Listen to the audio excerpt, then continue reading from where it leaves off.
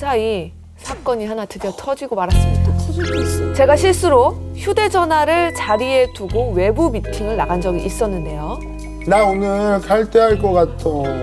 토깽이는요?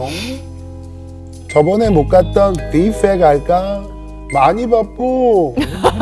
핸드폰을 두고 나가서 이제 못 읽고 있는 거죠. 일이 읽었어. 없어졌어. 미안 미안 외부 미팅 가느라 답장이 늦었네. 설마 이거 아니겠지? 뷔페 완전 취저.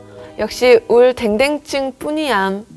미팅을 끝내고 사무실에 돌아와 휴대전화를 보는 순간 소름이 돋았어요. 하지 마, 혜진아 하지 마. 누군가 제 말투를 흉내내며 남친에게 답장을 했기 때문인데요.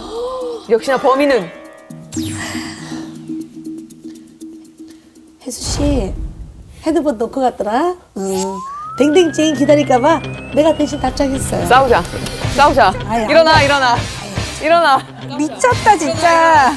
그러지 마. 그렇게 흥분할 게 아니라니까. 댕댕찡이 7시까지 데리러 온다니까 미팅 보고서 빨리 쓰고 칼퇴해. 오늘은 뷔페 가야지.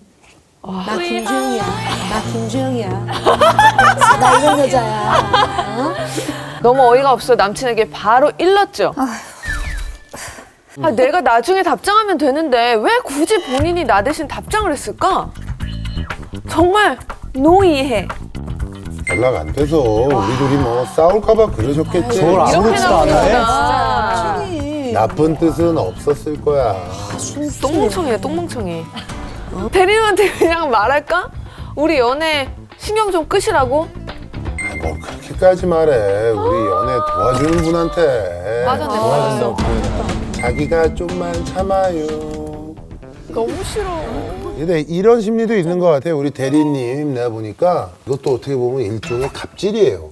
네 맞아요 맞아요 맞아요. 어, 어떻게 이렇게까지 하지? 만약에 네가 나한테 기분 나쁘게 할 거면 너 내가 두고 보겠어. 이렇게 나올까봐 밑에 부하 직원은 또